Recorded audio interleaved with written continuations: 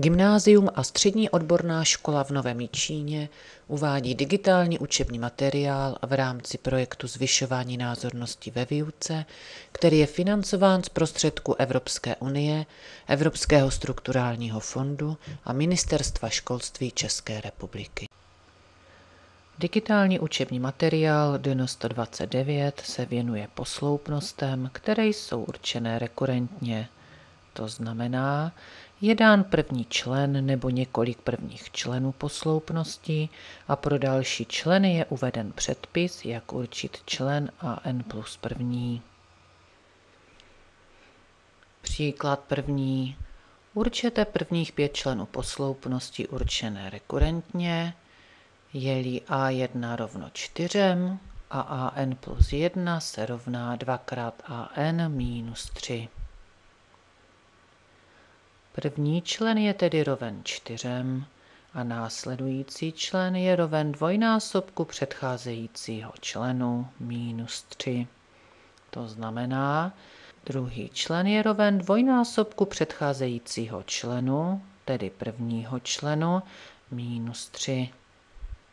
Můžeme si představit, že do uvedeného vzorce dosadíme za n1 a 1 plus 1 jsou 2, tedy druhý člen se rovná 2 krát a, za n dosadíme jedničku, tedy a1 minus 3. První člen je 4, dosadíme-li tedy za a1 4 máme, 2 krát 4 minus 3, což je 8 minus 3, druhý člen je tedy 5. Třetí člen je roven dvojnásobku předcházejícího členu, tedy druhého členu, minus 3. Opět si můžeme představit, že do uvedeného vzorce dosadíme za n dvojku a máme a 2 plus 1 je 3, to znamená A3 se rovná 2 krát a za n dosadíme dvojku, tedy A2 minus 3. Druhý člen jsme vypočetli, že je roven 5, máme tedy 2 krát 5 minus 3, což je 10 minus 3, třetí člen je tedy 7. Čtvrtý člen je roven dvojnásobku předcházejícího členu minus 3, to znamená 2 krát třetí člen minus 3. Třetí člen je 7, to znamená 2 krát 7 je 14, minus 3 je 11. Pátý člen je roven dvojnásobku předcházejícího členu minus 3, to znamená 2 krát čtvrtý člen minus 3, čtvrtý člen je 11, 2 krát 11 je 22, minus 3 je 19. Prvních pět členů posloupnosti je tedy 4, 5, 7, 11 a 19. Příklad druhý. Určete první a šestý člen posloupnosti určené rekurentně.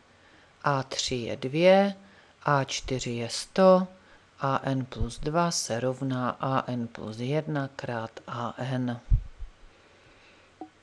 Víme tedy, že třetí člen je roven dvěma a čtvrtý člen je 100.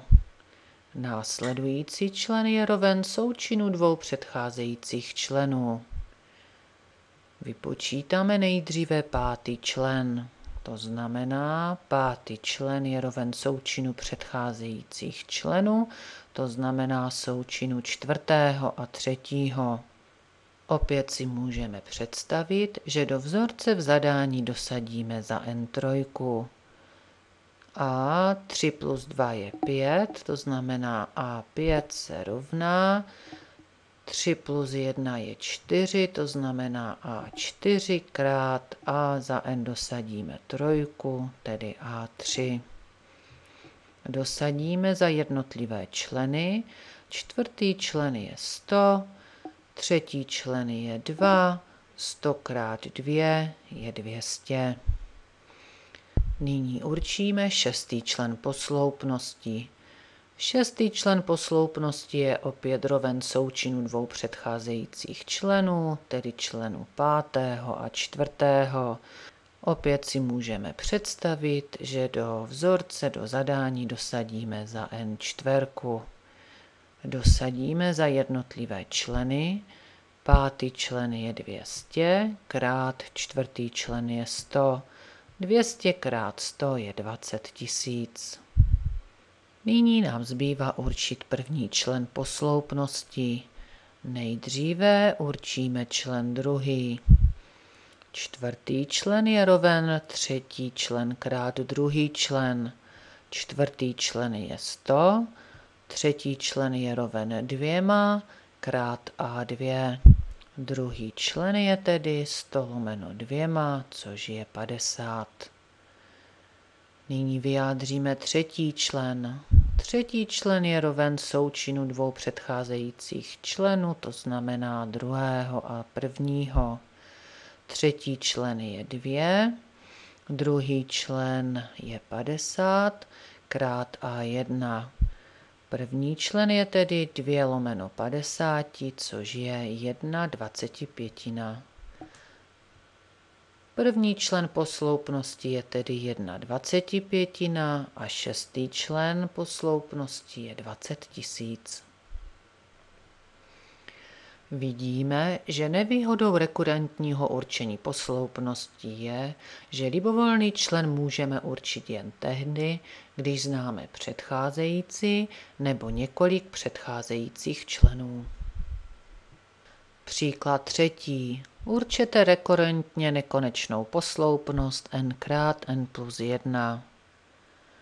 Určit posloupnost rekurentně znamená najít předpis, jak určit an plus první člen z an tého členu, tedy z členu předcházejícího. Můžeme například určit jejich rozdíl, to znamená an plus 1 minus an n plus první člen dostaneme tak, že do vzorce pro n člen posloupnosti dosadíme za n výraz n plus 1. Máme n plus 1 krát n plus 1 plus 1 minus a n člen, který je n krát n plus 1. Z výrazu můžeme vytknout výraz n plus 1 a dostaneme n plus 1 krát. Z prvního výrazu nám zůstane n plus 2, z druhého minus n. Upravíme výraz v druhé závorce, n minus n je 0, zůstane nám tedy dvojka, kterou napíšeme před výraz n plus 1. Odtud dostaneme, že an plus první člen se rovná 2 krát n plus 1 plus an. Nyní ještě musíme určit první člen, to znamená, do zadání do vzorce pro n člen posloupnosti dosadíme za n1 a dostaneme 1 krát 1 plus 1 1 plus 1 jsou 2, krát 1 jsou 2, to znamená první člen posloupnosti je 2. Získané rekurentní určení posloupnosti není jediné. Můžeme například také určit podíl n plus prvního členu a n tého členu. n plus první člen posloupnosti jsme již určovali, a to tak, že do vzorce pro n člen posloupnosti v zadání jsme dosadili za n výraz n plus 1 a dostali jsme n plus 1 krát n plus 2 lomeno a n člen je n krát n plus 1. Zlomek můžeme krátit výrazem n plus 1 a dostaneme n plus 2 lomeno n. Odtud je n plus první člen roven n plus 2 lomeno n krát an. Opět připíšeme první člen posloupnosti, který je roven dvěma.